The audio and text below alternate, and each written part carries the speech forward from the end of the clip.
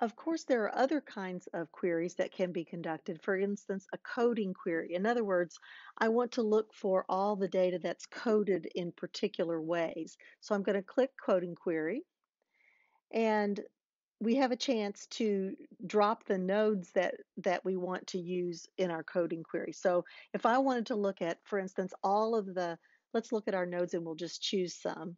For instance, I have several different nodes here in the bottom of my list that have to do with writing. Write about the book, write, there's my write query. I'm going to leave that one out because I haven't coded there.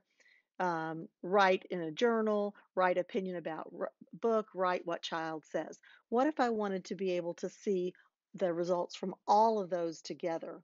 One of the ways to get that would be through a coding query. So um, it says for content matching these criteria, all of the following are true. And I'm going to, um, it's coded at any of these nodes because I want all the data that's at any one of those nodes. I'm going to select my nodes here. And I'm just going to click on all four of these or all five of these uh, write nodes and select them. You'll see them there. Um, and I should be able to run that query and get all of them at one time. And of course, there wasn't a lot of data coded there, so we just see four of them. But we've got, we write it down, we write in a journal, we write what my son says about the book, we write a comment about the story. So we got all of this, these writing type items at once. Next, I'm going to show how you might do a crosstabs query. This is a quick way to look at coding at particular nodes in relationship to demographic characteristics that may have come in in your classification sheet. So let's take these same writing nodes. Uh, I'll drag and drop them right over here on top of the nodes. I'm not going to take the write query one because I created that mechanically and I may not want to include that. So I've got my four writing nodes, write about the book, write journal, write opinions about the book, write what the child says. And I want to see if these seem to be differentially connected to males and females. So I'm going to say show node against. Um, I'll use attributes. There, and it says classification. I have to choose my student classification sheet because that's what it was called.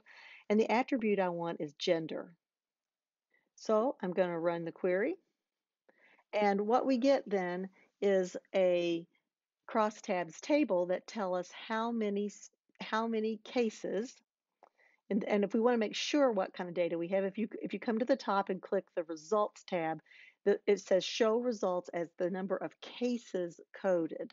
So if a particular student's case is coded to that um, node at all, we'll see the number there. That would be different to, to find the number of references that were coded.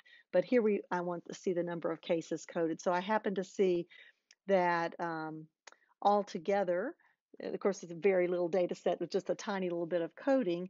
Two males were coded at all four of those nodes, and one female had data coded at those four nodes. You can uh, use these heat maps to to you know, and there's different possibilities. You know, with red being larger in this case. Um, there's lots of different options. You can also show uh, show the cell values as counts. You can show row percentages or column percentages. There's lots of ways to look at this data that could be useful to you. Just as in our other queries, if you want to save these results, you have to click the Save Results button. If you want to save the query syntax, you have to click the Save Query Syntax. You can also conduct a matrix coding query, which essentially it can give you the exact same thing as a cross tabs if you chose to do categories and cross them with an attribute, or you can cross two different kinds, two different sets of categories if you'd like to do that in a matrix coding query. So I'm going to click on that one. And here we have the opportunity to drag, drag and drop whichever sets of um, categories we'd like to cross. And a matrix coding query is going to look for units that have the intersection of the exact codes that we're crossing. So if we choose, let's do times read. So we'll the time the, the times that the books were read, I'm going to put them in the rows. And um, you know, if I were to choose, if I wanted to choose an attribute, which of course we can do with crosstabs, but if I did want to do that, I'll show you how that works. You click the little plus bot button under column and you can select attribute value. Um, I can select gender and I then come down underneath gender and select the actual attribute and add it. Then if I want to select uh, male as an additional attribute, I do the same thing a second time. And then I can look to see how many times books were read and how that is how that connects with the classification attribute of male and female by running that query. We see that females read it twice in their families one time, males zero times. I have several items that deal with oral language, so I think I'm going to put them in there together. I'm going to use this vocabulary item, and then I'll use uh, talk about book.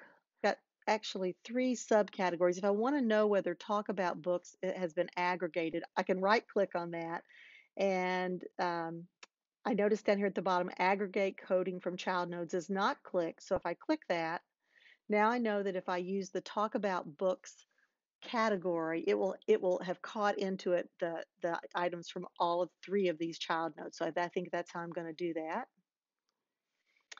And let's see, there's another one, pronounce words. I'm gonna I'm gonna put that there.